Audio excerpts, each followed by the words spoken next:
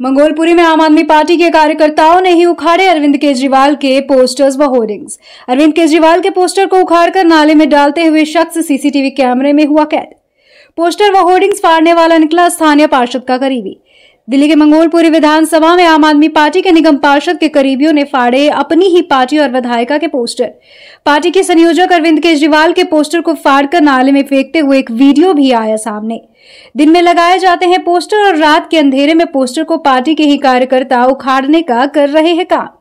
मंगोलपुरी के आम आदमी पार्टी के कार्यकर्ताओं की मांग है कि ऐसे पदाधिकारी और कार्यकर्ताओं पर कार्रवाई होनी चाहिए, जो संयोजक अरविंद केजरीवाल और पार्टी के साथ बगावत कर रहे हैं।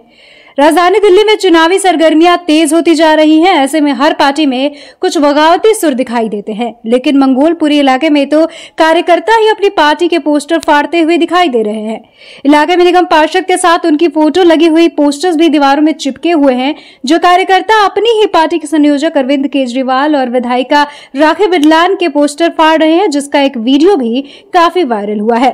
इस वीडियो में देखा जा सकता है कि एक व्यक्ति जो कि निगम पार्षद राकेश जाटव का करीबी बताया जा रहा है, वह रात के अंधेरे में आम आदमी पार्टी के संयोजक अरविंद केजरीवाल के पोस्टर को फाड़कर नाले में फेंक रहा है।